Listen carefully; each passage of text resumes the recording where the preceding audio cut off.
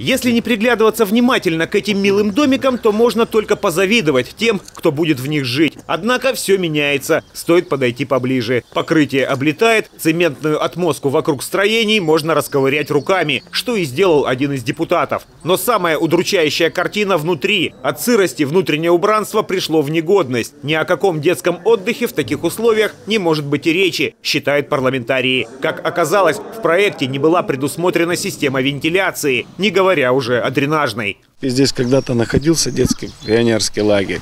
Соответственно, сколько-то лет э, не использовалась земля. Сегодня мы понимаем, на момент строительства таких у нас не было, да, чтобы родники там выбивали. Сегодня оно видимо, и понятие есть, что э, необходимо делать водоотвод со всего земельного участка.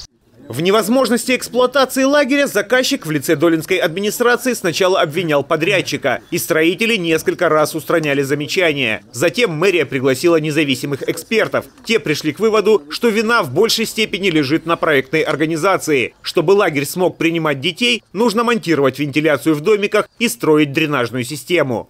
Сделать горизонтальную гидроизоляцию фундаментов, э, заменить внутреннюю обшивку стен на новый материал, потому что он уже, ГВЛ, он уже подмоченный, он уже дальше к эксплуатации никак не пригоден. Лагерь на месте бывшей пионерской здравницы «Теплая долина» возник по итогам инициативного бюджетирования. Из областного бюджета выделили средства – 100 миллионов рублей. Местная администрация выступила заказчиком. Такой подход больше недопустим. То есть и проекты будем запрашивать. Мы сейчас запросим у Минобразования все проекты, если есть такие по новым корпусам, по новым э, летним оздоровительным лагерям. И подключим наших по Минстрой и контролирующие органы.